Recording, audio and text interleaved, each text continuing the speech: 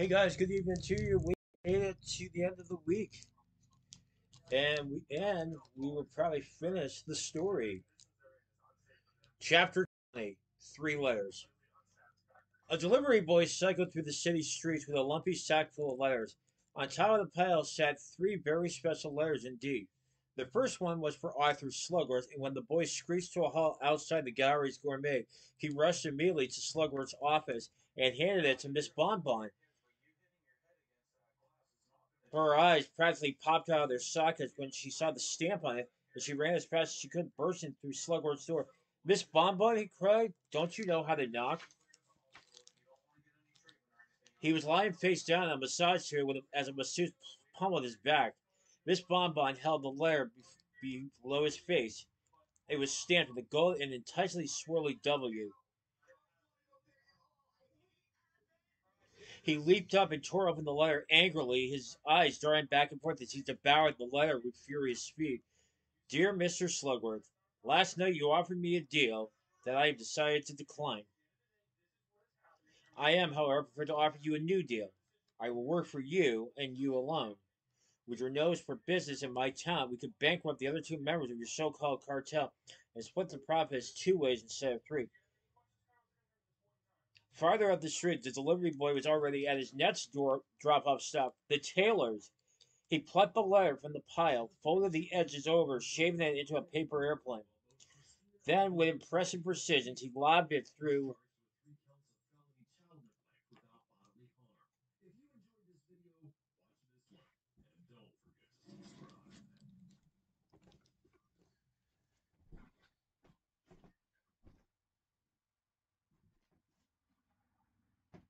Some people are extremely entitled, turning regular encounters into an absolute nightmare.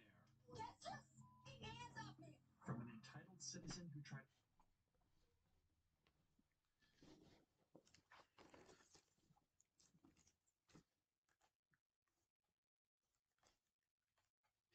Farther up the street, the delivery boy was already at his next drop-off stop, the tailor's. He plucked the letters from the pile, folded the edges over, shaping it into a paper airplane. Then, with impressive precision, he lobbed it through the window of the tailor's. It hit Fickelgruber square on the nose. I'm being fitted for a suit, you peasant, Fickelgruber cried out to the boy. He made to throw away the letter, but something caught his eye, a glinting gold W. The message inside, though he didn't know it was identical to the one Slugworth had received. I will work for you, and you alone.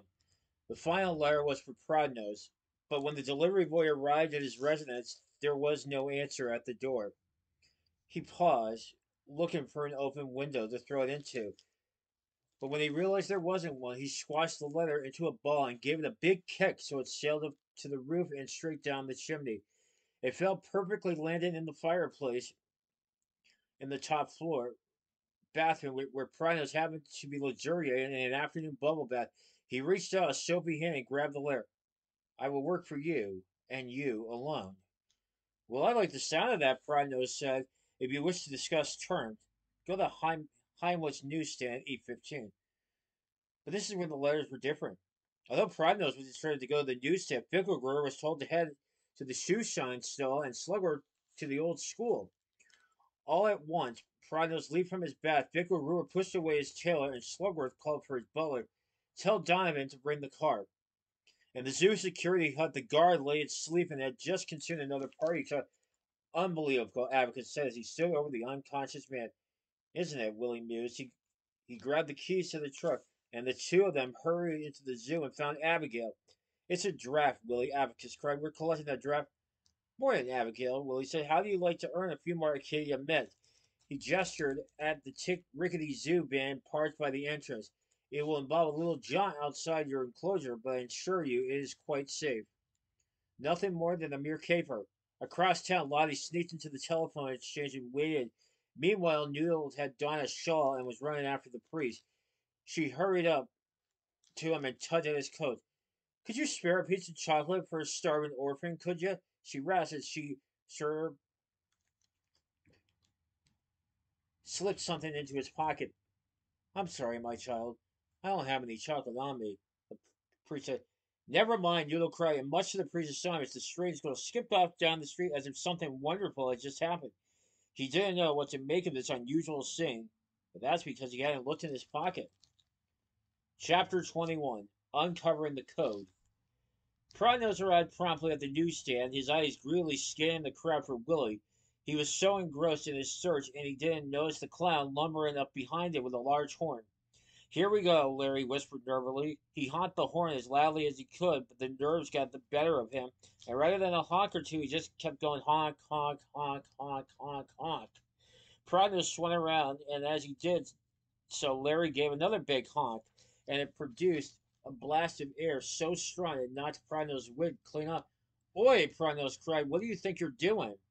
He bent down to pick up his hair, but Larry got there first and shot off with it around the corner. Come back here with my cat. I mean hair, Prodnose screamed, and he shot off after him. Larry stopped and thumbed the wig, his hands shaking. Inside, just as Willie had said, he found the numbers they needed. 642, which is you, which is also the start of a phone number in Lebanon. He memorized them and then turned back to Prodnose. Hey, pal, Larry said, get a, le- get a leash on that thing. Prognos tried to snatch the wig back, but Larry held onto him and whispered, Willy Wonka says to meet him at the old copper mine. Then he melted into the crowd. Not far away, Fickelgruber arrived at the shoe sign stall and looked around expectantly, his nose wrinkled in disgust at the sight of the grubby people on their knees shining shoes. Piper looked up and flashed a smile. Shoe shine, mister? Fickelgruber nodded and sat on the steps, his eyes on the crowd as he looked for Willie. You haven't seen a man dressed in a plum tailcoat, have you? he asked Piper. No, sir, she said, lifting his shoe and making a note of the numbers on the sole 273.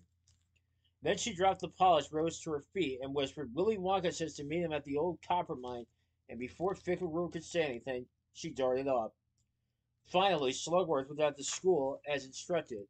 He stood inside still and steely like a, the statue of a great god. Larry approached immediately, confident from his last encounter with the chocolatier, and grabbed his hand. Is that the incredibly famous Mr. Slugworth? I want one of those bone crushing business handshakes everyone talks about. Larry chuckled as his eyes searched Slugworth's wrist for the watch. Get off, Slugworth shouted, snatching his hand back. Larry began to sweat. There was no watch. Something the matter? Slugworth said.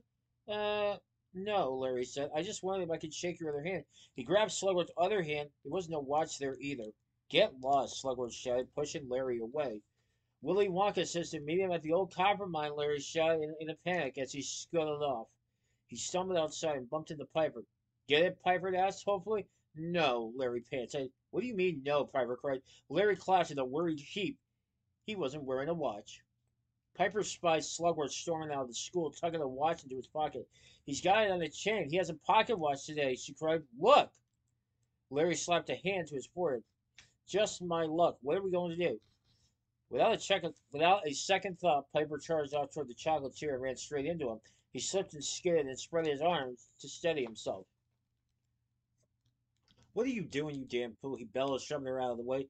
He took one last look at the crowd, and accepting, and accepting Willie wasn't there, climbed back into his car and sped off. Well, Larry whispered as he sneaked over, did you get it? Piper held up the pocket watch and smiled smugly. She noted the time, 8.16. Chapter 22 Abigail is on the loose.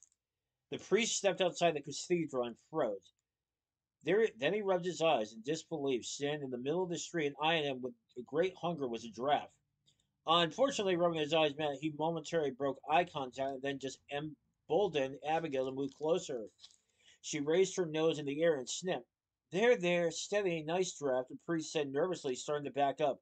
While Abigail didn't like that, she began striking her hooves against the ground. The priest, was, the priest was sweating now, his entire body wobbling in fear. Even his face and cheeks were wobbling like a cream caramel. Save yourselves, he screamed as he fell back into the cathedral, slammed the doors shut. He tore down the aisle, past worshippers in quiet prayer, and in a few very confused months. Get up, quick! It's a, it's the, the neck one. He was so agitated he forgot the word draft.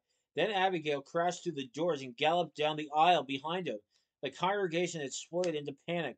Stuff was flying everywhere. Bags, shoes, hats, and everyone was screaming at the sound of some thundering hooves rose up into the rafters. The priest stumbled up the steps and into the pulpit and grabbed a telephone that was hidden beneath the lectern.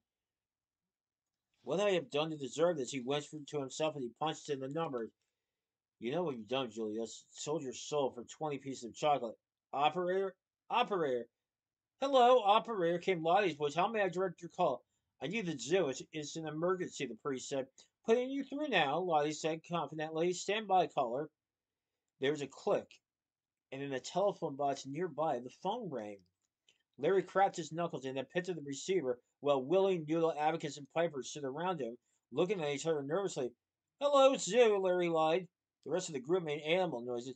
Quiet down, you animals, Larry said, trying not to laugh. You too, Octopus, he added, putting on an underwire voice.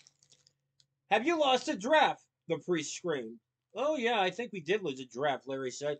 Well, it's easy to do, isn't it? The others could hear the priest's exasperated shouts down the phone. Yes, easy to lose. That's what I said, Larry said, his voice cracking with laughter. The priest's shouts became high pitched now. Okay, okay, Larry said. I'll send the team round to pick up the draft. You just sit tight. Back at the cathedral, the priest hung up the phone and breathed a sigh of relief. But it was short lived. He felt a gust of warm breath on his neck. Short, slowly, he turned to see two huge, hungry eyes peering down at him. Abigail began sniffing, and the priest began to whimper. She sniffed his face and his neck, her muzzled whiskers scratching at his throat and making him wince. Then suddenly she plunged her head down into his pocket. A crunching sound made the priest jolt in surprise. When he looked down, he couldn't believe his eyes. His pocket was full of knob, bright green novelty sweets. By some awful miracle, his pockets had been filled with mints. Mints now being demolished by an over-enthusiastic draft. He was thrown from side to side as Abigail tried to wriggle her nose farther down into his pocket. He strained and spun, pulling his arms free of his robe, which collapsed to the ground as he bolted over the pulpit to safety. Then suddenly a beep sounded outside, and the zoo truck bursted through the doors, weaving around the debris from the fleeing congregation and screeching to a stop in the middle of the cathedral. Abacus, Piper, and Larry jumped out. Better if you leave now, Abacus said to the priest. It's safer. The priest didn't need to be told twice. He ran as fast as he could out of the cathedral doors and didn't look back. Willie sat huddled in the back of the van, covered in straw that, that smell of wet draft. Eula was next to him, sitting with her legs tucked up to her chin and breathing only from her mouth to avoid the smell. A nervous excitement bubbled in Willie's stomach at the thought of the plan coming together. Piper hauled the door open. Coast is clear, she said. Come on. Willie and Noodle burst from the straw and made for the confessional. Willie squeezed inside first, while Abacus took the priest's side. Piper handed Noodle the codes, and she squeezed in, too. There was barely enough room for the two of them. No one was saying anything as a catch nervousness spread through the group. Abacus gave Willie a supportive nod, and then he pulled the lever. A whirring sound sounded, and the confessional booth began to shake and shift. And soon it was descended into the depths below. Here we go, Willie whispered as they sank down into darkness. Chapter 23 Flamingo Jam. Ping! As the elevator doors opened into the crypt, the security chief looked up with surprise to see not a guest, but the box of chocolate wrapped with a ribbon and placed neatly on a stand. She stepped inside the elevator and plucked the accompanying card from the stand. Thank you for all your hard work. Please enjoy these chocolates from us, Father Julius and the Chocolate Cartel.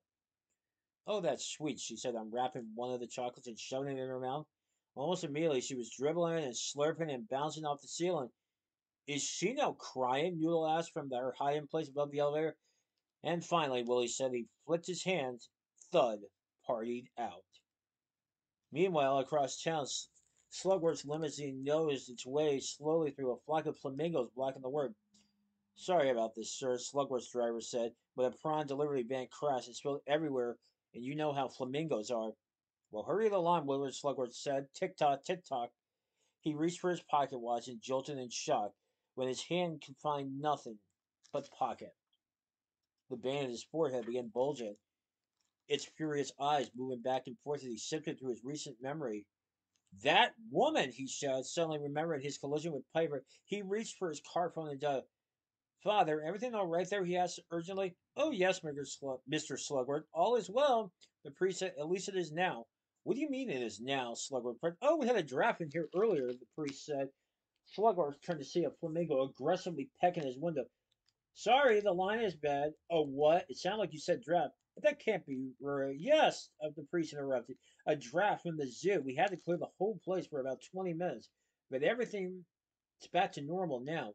Slugworth hung up and dialed Fickelgruber and Prodnose on his special cartel phone. It was a direct line. To every member all at the same time. Gentlemen, Slugworth said, where are you? On my way to see the tailor, Fickelgruber lied. I am just having a bath, Prodnose screeched. I am.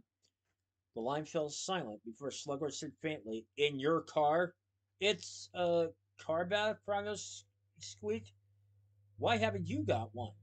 Slugworth sat very still as he listened down the line, pecking on windows the same squats and flapping said, Hello, Fickle Growers and Prodnose said at once.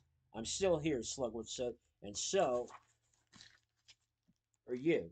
We're stuck in a flamingo jam. You're going to see Wonka. We all are, except he's not going to be there. Why? Where is he? Fickelgruber asked. In the crypt, Slugworth said. A red wave's come consuming him, robbing us.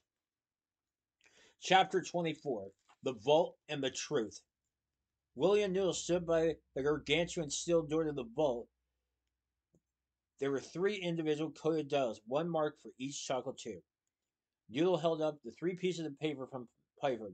She read them out slowly and carefully so Willie wouldn't make a mistake. Sets four two, she said. 273918. Willie dialed in the combination, took a deep breath, and then together they heaved the huge wheel dial trying to open it.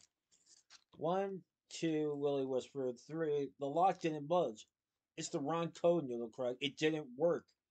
Willie slumped. They were inches away from their final piece of their plan, but without the code, they might as well have been all the way back at the start. Uh, Noodle said, make. Ah! Noodle said, making Willie jump. Hang on a minute. What is it, Noodle? he asked hopefully, and then he saw what she was doing. She was rotating the last piece, of paper. It might have been upside down, she said. Try 816. Clunk. Noodle, Willie cried, looking at her in the eye as, she he- as he heaved the heavy door open to reveal a secret lair filled with pipes and valves and strange control and clay machinery. Well done. You passed the, t- the test. What test? Noodle asked. The upside down number test, Willie replied. That's not a test. It's abs- it's it absolutely is a test. Now he said his eyes scanned the room. Let's find that ledger. They raced into the lair, emptying drawers and upending piles of paper. They searched under chairs and under rugs. They searched everywhere. Anything, Willie asked. Noodle threw some chocolate boxes to the ground in frustration. Nothing. Well, keep looking, Willie said. It's here. It must be. Willie Noodle slumped in, into a chair. It's not here, Willie. It must be. Abacus told us. Abacus has been in the wash house for the past four years, Noodle said. Maybe they changed it. Maybe all that scrubbing went to his head. All that's down here is a load of stupid old chocolate. She picked up a box of Slugworth's chocolate and threw them hard. The chocolates went flying across the room. The box crashed into a tile on the wall and a strange click sounded. Then the child did an incredible thing. It flipped over to reveal a hidden compartment behind it. Inside was a chunky book bound in green leather. The green ledger, Willie cheered, grabbing it and hoisting it in the air. You had me going there for a minute, Noodle, but you knew where it was all along. No, I didn't. I just suddenly there was a bang. Willie turned to see Slugworth's arm and blocking their only exit. Fickelgruber and Prodnose stood smugly by his side. Naughty, naughty, Mr. Wonka, Slugworth snarled. You've caused us quite a bit of trouble, you and your urchin. She's not just an urchin, though, is she? Willie said, stepping forward, e- eager to not miss his chance to find some answers. Your family. What? What? Noodle said. What are you talking about, Willie? You know that ring, he said gently, the one you got from your parents? Well, Mr. Slugworth has one just like that, don't you? Slugworth narrowed his eyes at Willie and knew as Noodle pulled the ring from around her neck. That was my brother's ring, Slugworth said. His eyes still fixed on Willie. Zebedee, he, he was called. Noodle stared down at the necklace and whispered, Was he my father? A hopeless romantic he, is what he was. Slugworth spat, fell in love with a common little bookworm, but died before they could marry, leaving me sole heir to the family fortune, or so I thought. Then I heard you were soon to be born, another heir with a claim to my money. But as luck would have it, not long after you arrived, your mother showed up on my doorstep, begging me to get a doctor for her sick little newborn. I said to leave the child with me. I could help. Willie moved closer to Noodle, worried for his friend. The news didn't seem to have sunk in. She remained motionless, her face blank and unreadable. Then the hand gripping her ring be- began to shake. Of course, I had other plans, Slugworth said with a wicked grin.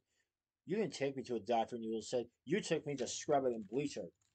Down the laundry chute you went, Slugworth laughed, to a sad little life. Not N for Noodle, she said as she thumbed the ring. Z for Zebedee. It's the meanest story I've ever heard, Billy cried in disbelief. And what lie did you tell her mother to cover your trip? Oh, I said the baby had died, Slugworth said dismissively. I gave her a bag of sovereigns and sent her back where she came from. She was heartbroken, but she believed me. Willie turned his attention to the beefy green ledger, flicking through as fast as he could go. Where did you send her bets to, Slugworth? Nilo said, her voice desperate. She might be out there still. What's her name? Oh, Slugworth said, tapping his chin. Now then, what was it? Uh, no, I don't think I can remember that. You must understand, she was very poor. Fickelgruber retched at the word. Sorry, Felix, Slugworth said. Willie stopped rifling through the pages of the ledger and looked up, his stomach flip flopping. I found her, he said, Noodle. She was called Dorothy Smith. Willie Noodle stared at Willie in disbelief. You found her. Look, Willie said to an entry in the ledger. She's right here. Noodle read the ledger, then suddenly her head snapped up. Wait, Willie, how did you read that? Guess you did teach me to read after all, he said with a smile. Well, this is all very touching, Slugworth said, but I've got a treat for you. Fickelgruber snatched the ledger from Willie. What treat? Noodle asked. Slugworth pitched her with a grim grin. Death by chocolate, he snarled. Chapter 25 Death by Chocolate. The cartel marched Noodle and Willie through a steel door with a small porthole window at the far end of the lair. Inside, an enormous tank filled with chocolate bubbled before them, looking like a great big and very deadly medicine bowl, wherein blades sliced angrily through the mixture. Fickelgruber pulled the lever, and to Willie's relief, the blade stopped. But his relief was short lived. On you go, Slugworth said, nudging the pair onto the top of the blade that stretched out before them. He gestured along the blade all the way to the middle of the tank, where a small metal island sat, the steel plate that held the blades in place. Considering the situation, Willie said as they made their way to the center of the tank, I wonder if you gentlemen would do a good deed on my behalf. A what? Fickelgruber said. A good deed, Prodnose clarified for him. It's a sort of pointless act of selflessness. Of course, Mr. Wonka, Slugworth said quickly, clear and keen to move things along. What is it you want us to do? Willie reached into his hat and pulled out a jar of chocolate. I wonder if you could give this to someone, only if you happen to see him, you other said. Willie tossed the chocolate back to the cartel. Who is it, Slugworth. A little orange man about this high. Willie held his hand to his knee, and he has green hair. Uh, Slugworth said.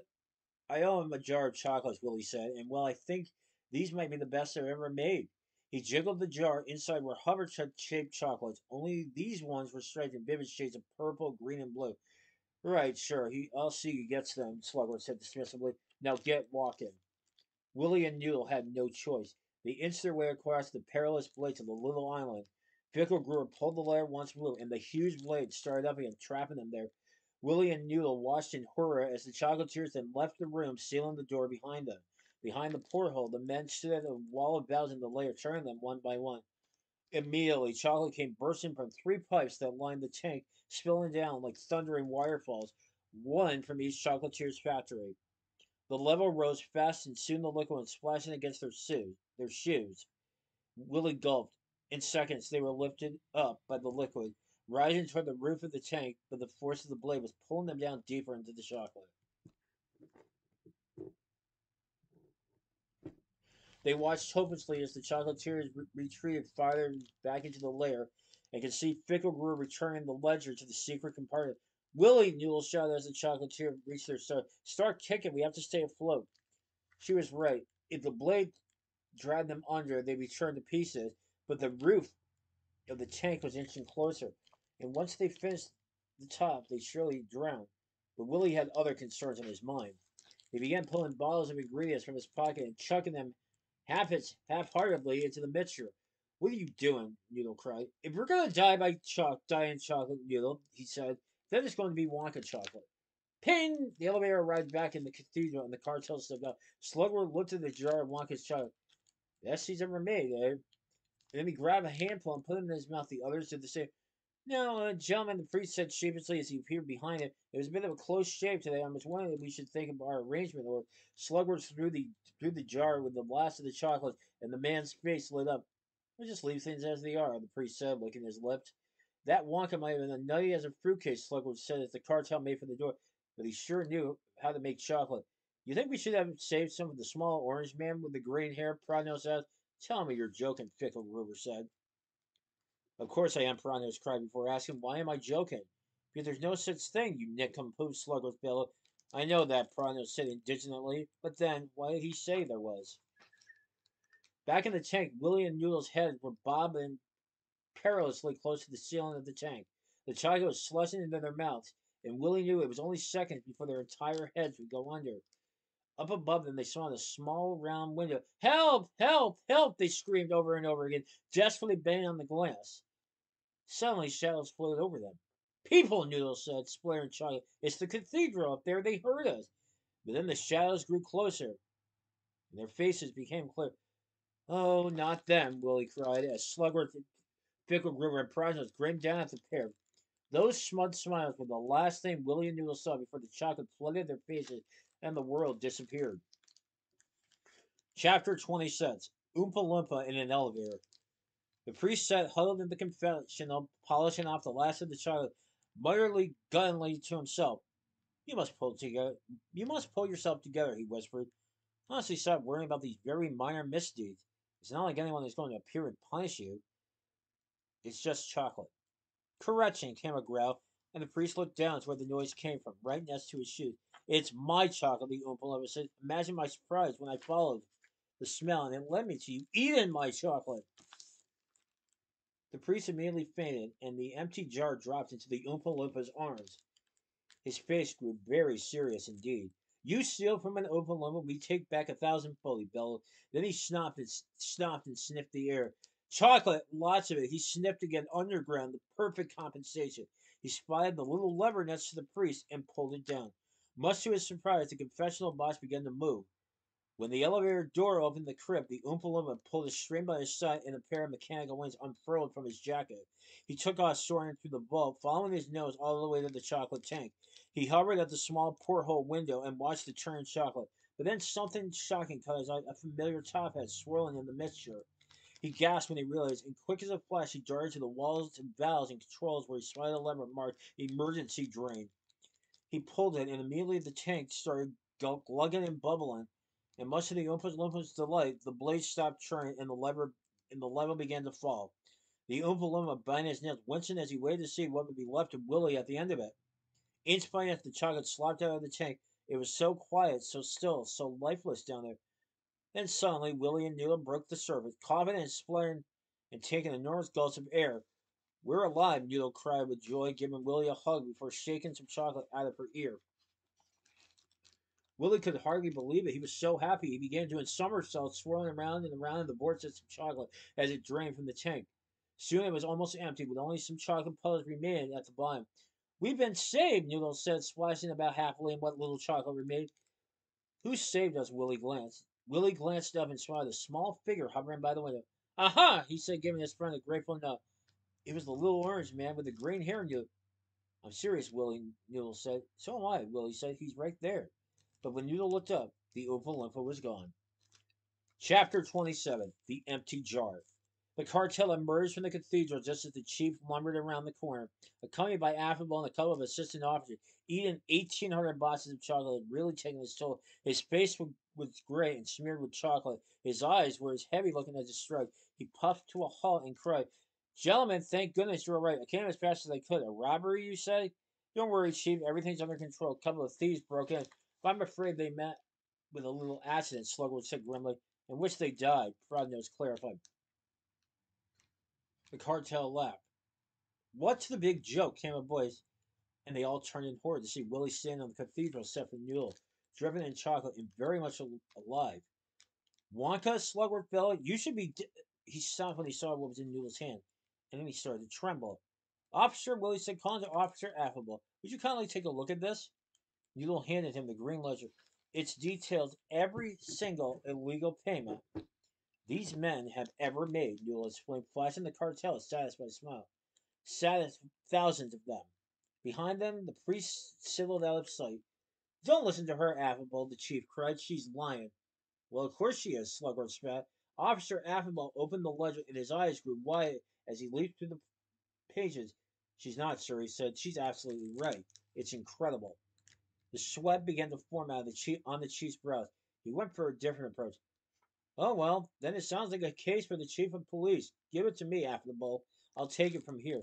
As the chief grabbed from the ledger, Officer Affable held on tightly. I can't let you have it, I'm afraid, sir. He said, and why's that? The chief asked. He glanced nervously at Slugworth. Your name's in here too, Chief. Officer Affable said, a lot. The chief dropped to his knees. Curse my sweet toast, he squealed. It was good as it was as good as a confession as any. And with a nod from Officer Affable, the other officer moved in to arrest the cartel and the chief. All right, I'll confess. I'm weak. I'll flip the cartel wailed. The chief will. I'll name names. I mean, you know their names, but I'll name them anyway. All I ask is just a little bit of chocolate. Gentlemen, Slugworth said, sensing the game was up. Run! They shot off through the square, but before they could get far, something incredible happened. Their feet lifted off the ground and soared up into the sky. Oh no, not again, Slugworth. Well, you didn't eat any of those chocolates, did you, Mr. Slugworth? Willie called up to them as they rose higher and higher. Slugworth bared his teeth in fury. Why? They're hovercrafts, Willie said. My new delayed action version, and that's too strong. At the speed you're going, I say the three of you ate a lot. Slugworth grabbed hold of a jet of frozen water sticking out of the fountain. Then Fickelgruber gl- grabbed Slugworth's shoe, and Prodnose grabbed Fickelgruber's ankle. There, there they were, the formidable chocolate cartel, a neat living strain of criminal bunting in the sky. You think you're so clever, don't you? Slugworth shouted down to Willie. Where there's a billion sovereigns of chocolate beneath our feet, we'll get the best lawyer, bribe the judge, rig the jury if we have to. We'll be fine. I wish I thought of that, Willie said, a hint of a smile breaking on his face. Noodle? Noodle gave a nod and clenched a wrench against the fire hydrant. It was the final part of the plan. The bit they had all been looking forward to. Deep below, huddled among the city's pipework, the others heard her sing. Now, Piper cried, and together she, Abacus, Lottie, and Larry began unscrewing bolts on the pipes. What are you doing? Wonka Slugworth shouted down, his voice with suspense. Why does she claim that fire hydrant? Yule just smiled sweetly at him, and as the ground beneath their feet began to quake, tiles slid from rooftop, the melons rolled off the fruit cart, and everyone in the square stopped and looked down. The icicles on the fountain spouts began to creak and crack. Slugworth's hand slipped slightly as he tried to cling tighter onto his icicle. Then suddenly there came the sound of rushing wire, and the fountain burst back to life. Only it wasn't water. It's chocolate, Slugworth screamed. Prodnose got our chocolate. We're ruined, Fickelgruber cried. Immediately, the icicle Slugworth was and snapped in two, and the chocolatiers floated up in the wave. Ruin, Willie called to them. I don't know. To me, it looks like you were going up in the world. By which he means we're physically going up Prodnose clarified, but finally, but financially, oh, shut up, Prodnose, Slugworth said. You're an idiot, Fickelgruber added. Well, at least I'm not sick every time someone mentions the poor, Prodnose scoffed, and they began grabbing at each other, kicking and throwing punches as they drifted higher and higher into the sky. But only Willie was watching them. Everyone else was fixated on the chocolate. Some were looking the walls, others were diving into the fountain. Don't worry, gentlemen, Willie called up to them. You'll come down eventually, I think. Until then, we need to figure out what to do with this chocolate. He dipped his finger into, into the fountain and gave it a taste. He showed now some now some say good chocolate should be simple, plain, uncomplicated. He began pulling bottles one out of his pocket and chucking them into the fountain. But I'd like a little complication, elaboration, innovation, and short wonkification. Suddenly, the chocolate in the fountain began to bubble and turn a glorious shade of purple. Ladies and gentlemen, Willie said grandly, my friends and I invite you to enjoy our chocolate. The workers rushed to the side, and together they watched as the cartel grew smaller and smaller in the sky, a squalid mass of men rising up and up before disappearing from sight. Chapter 28 Arrest Them. Back at the warehouse, Mrs. Scrubbit was organizing the bundles of money and labeling them. Nice old house in the country, she said, tapping one pile, of massive barrel of worm wire, fancy and fast. But she was interrupted by Bleacher, who's, who burst in and bolted the door hastily behind him. It's the cartel. He has they've gone down. Mrs. Scrubbit rose quickly to her feet. Well, we didn't do nothing except poison all those chocolates. There was a knock at the door. Police came a shout, followed by more knocking. Quick, Mrs. Scrubbit cried. Eat the evidence, police. Police! Just a second, officer, Mrs. Scrubbit said. I'm on the toilet. They grabbed the tray of strange bottles they stolen from Willie and began gulping down what remained inside them. Almost done, officer, Mrs. Scrubbit said. Oh no, still more toilet to go. Scrubbit, bleacher, open up, or we will knock this door down. And they did knock, knock it down. But when the poor arrested officers burst in, they found not so much two criminals, but instead two massive mounds of hair with eyes. Mrs. Scrubbit had long blue hair to her ankles and a massive blue beard, and Bleacher had green hair when he pulled back off his swollen face to reveal some yellow spotted skin. It took a while, but the officers eventually found their arms and put them in handcuffs. As they did so, Mrs. Scrubbit struggled free and oozed. One last kiss, my lord, before we are forever parted. Oh, puppy, what Bleacher says the kiss. One final slobbery, wormy kiss. Chapter 29 Dreams and Promises. Willie sat on the steps of the cathedral, watching the whole city enjoy the rich chocolate flowing from the fountain. He felt a warmth wrapping around him. It was a feeling he hadn't felt since he was a small boy on a small boat. He reached into his pocket and pulled out his old birthday bar of chocolate. Finally, it was time. He took a deep breath and peeled back the wrapper, but much to his surprise, there came a brilliant flash of gold. Willie's heart stood still. Slowly, he removed the rest of the wrapper and held the and held the gold paper up to the light. There was a faint message on a message that now, thanks to Noodle, he could read. The secret is not the chocolate that matters; it's the people you share with. Love, Mama. Willie traced her words with his finger. Tears wet on his cheeks. He could feel eyes on him like she was there. He looked up hopefully, and there she was. Standing in the crowd looking back at him. You kept your word, he whispered. You're here, Mama. She smiled proudly at him and then gestured at, at the chocolate in his hand. Willie raised it in the air with a lump in his throat. He knew it would be the very last chocolate person he would ever eat, and as the tear fell, he snapped up the corner and popped it in his mouth. His mother clasped her hands with joy, just as she'd done on every birthday. Every time they shared chocolate together, he wanted to cry out, to grab hold of her and keep her forever. But he knew he couldn't. As the chocolate melted in his mouth, she began to fade, softer and softer, fainter and fainter. And then she was gone. But she would never truly be gone. Not really. He knew that now. Noodle came skipping toward him, and Willie wiped his tears and broke off a piece of chocolate for her. As she chewed onto it, a look of pure joy spread across her face. One by one, the rest of the warehouse workers joined them and handed them each a piece of chocolate. They ate the whole bar together, all of them like one big family. It was just as he dreamed. No, it was even better than that. This really is the best chocolate, Noodle said. Willie smiled at the empty wrapped in his hand. I wish it could last forever. The cathedral bells chimed. I guess it's time, Willie said. Time for what? Noodle asked. What's going on? The other workers began grinning and nudging each other excitedly. You know how many people called D. Smith live in this city, Noodle? Willie asked. One hundred six, Abacus answered. We checked in the phone book.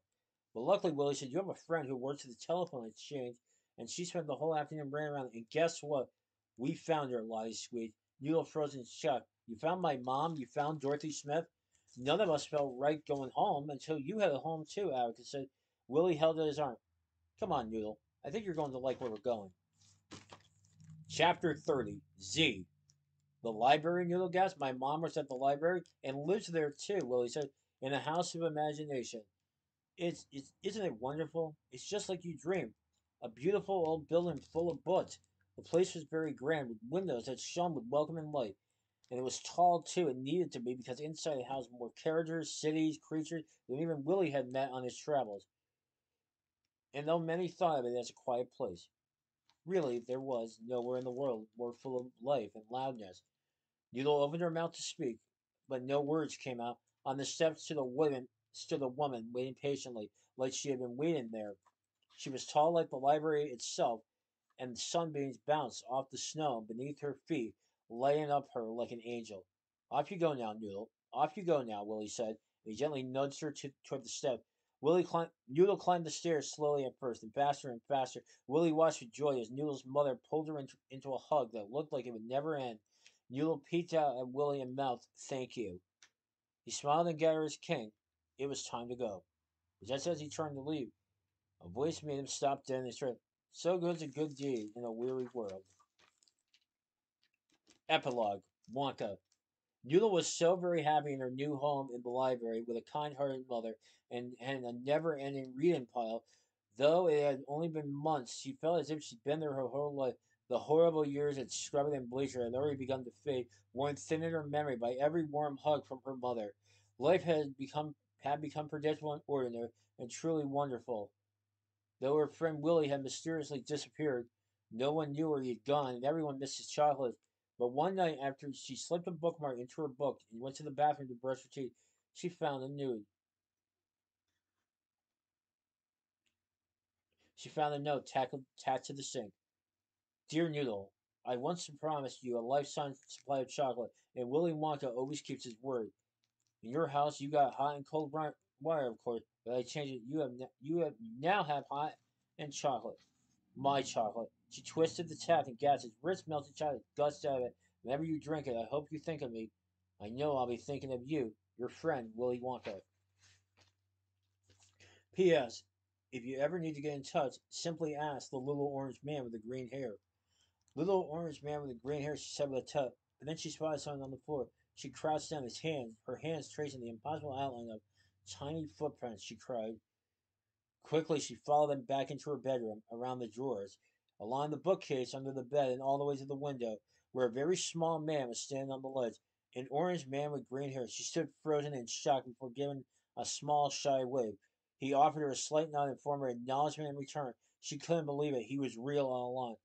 Then, then quite suddenly, he burst to life, pulling strings at his side. There was a great clunk, and mechanical wings unfurled from his jacket. And he jumped right out of the window. Noodle rushed over and watched with utter joy as the Oompa Loompa dipped low, skimming the cobbles, and swooped and soared off into the night.